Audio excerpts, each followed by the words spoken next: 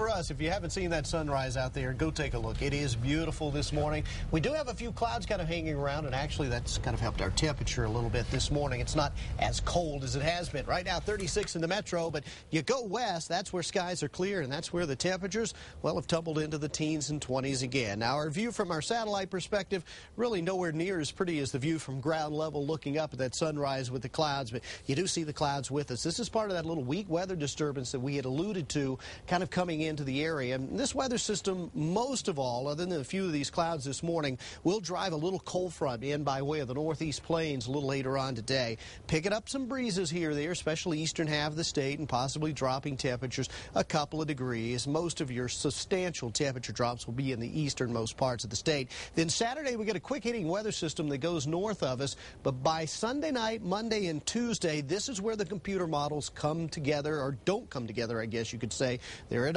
odds because most of the computer models have been saying even this system stays north of us. But look, I drew it further south here, right on into the northern half of the land of enchantment. That's because we have one outlying computer model run that says that thing comes south. Now, I'm not banking on that.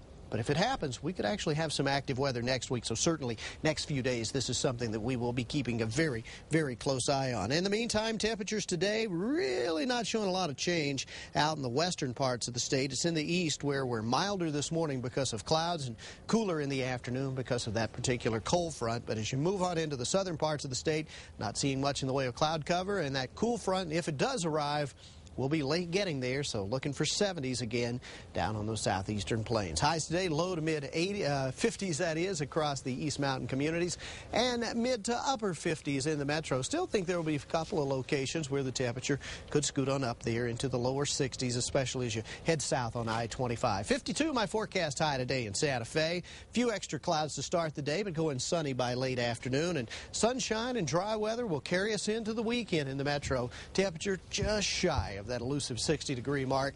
And again, next Monday, Tuesday, question marks surrounding which computer model will be right.